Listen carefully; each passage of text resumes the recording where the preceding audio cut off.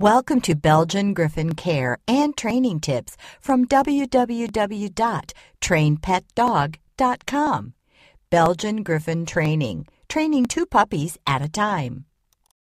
The Belgian Griffon, also called Brussels Griffon, is a toy dog breed that originated in Brussels, Belgium. There are three varieties of Belgian Griffon according to coat type and coloring the Griffon Bruxelles, the Petite Brabancon, and the Griffon Belge. The coat color can be red and black, and tan and black, or solid black. The Belgian Griffon has a sturdy and well proportioned body. The head is large with an undershot jaw. The griffon has cropped ears, high set tail, short muzzle, and large eyes. A griffon's average height is 7 to 8 inches and average weight is between 6 and 12 pounds. The Belgian griffon is affectionate to its human family, particularly older children. It is intelligent and manifests terrier like personality. The Belgian Griffon is a good choice for families living in apartments. Due to its small size, a Griffon does not require a yard to live contently. Many dog lovers find getting two puppies at the same time advantageous. If you look into raising two Belgian Griffon pups together, there are some factors about this breed that you must consider. While Belgian Griffons are generally intelligent and quick learners, some individuals can be hard to train. Griffons are barkers and full of self importance, too. The following tips can help you house train two Griffon puppies at a time. As with other dog breeds, start training your Griffon puppies before they reach maturity. Griffon puppy training is most beneficial when done between the ages 7 and 12 weeks because they are most receptive to training during these ages.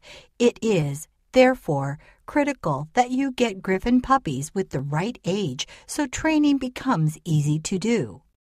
Some dog owners think that crating two puppies together is good to minimize the stress associated with crate training.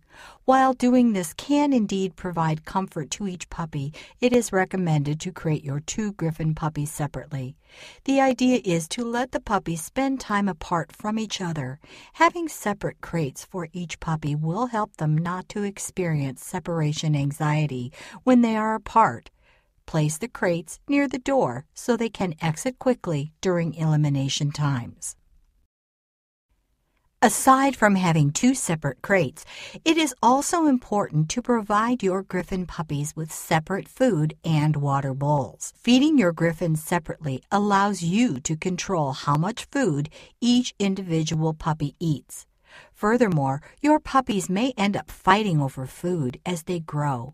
Feeding on separate food bowls will prevent your pups from developing resource guarding issues as they mature. Teach your Griffon puppies obedience training both together and individually. Individual training gives you the chance to spend time with each puppy. When your griffon puppies are not given enough individual time, they will bond closer to each other and become litter mates. Litter mate puppies do not see humans as a family unit. This can lead your puppies not to respect you as the leader of the household pack. On the other hand, your puppies will develop a relationship with you if you work with them separately. Training two Belgian Griffon puppies at the same time demands patience and consistency.